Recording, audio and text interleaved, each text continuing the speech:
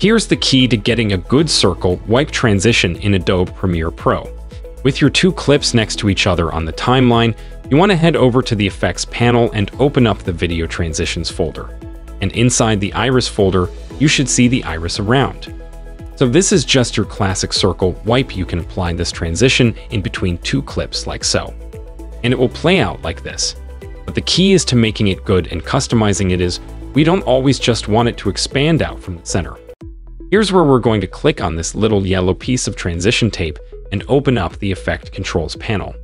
And here you have your A and your B clip. And you'll notice there's this little circle target on the clip, and you can move it around so that you can make your circle begin actually wherever you want.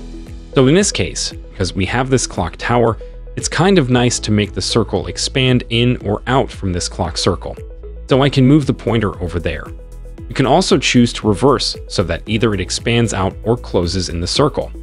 And you have a couple other options such as border colors or making it start a certain amount in or not, but as I'll just keep it mostly default, except all I did was adjust the circle position from where it begins and ends. And of course, if you want to make this transition longer or slower, you can make the tape further or closer together. But now that is a very easy way without having to go into the effects panel and use the circle effect in keyframes to create a custom circle transition that expands out or closes into whatever points you want. If this video helpful to learn quickly, hit the like button and also don't forget to subscribe to our channel and hit the bell icon. Then you won't miss any upcoming tutorials.